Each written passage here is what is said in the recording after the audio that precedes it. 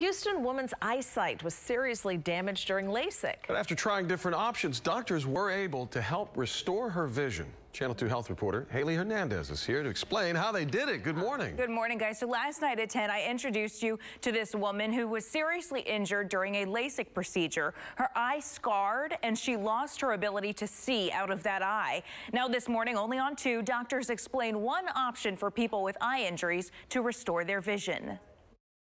Maytel Joseph says LASIK left her injured and nearly blind in one eye. There's not a LASIK or some sort of procedure that's going to suddenly fix all this stuff and I never have to wear you know, what did I go through this for? After several operations to try correcting the botched procedure, doctors determined her eye could not withstand any more surgery.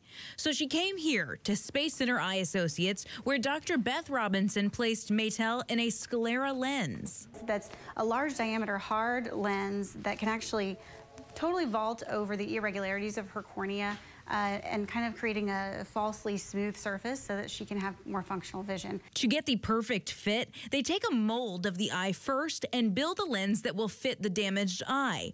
The hope is this will correct her vision and improve extreme dryness. Dr. Robinson says it's proven beneficial for a variety of people with eye injuries and conditions. We treat dry eye with this lens uh, corneal scars, irregularities, such as Maytel's case, um, post-surgical corneal replacement uh, type patients. Maytel says her vision is better, but it comes at a price. I can tell you what my contact does cost is $1,000 for one contact. So she is still disappointed her vision was harmed to begin with. She went in wanting 20/20 vision and came out worse than before. Doctors say not everyone is a good candidate for LASIK.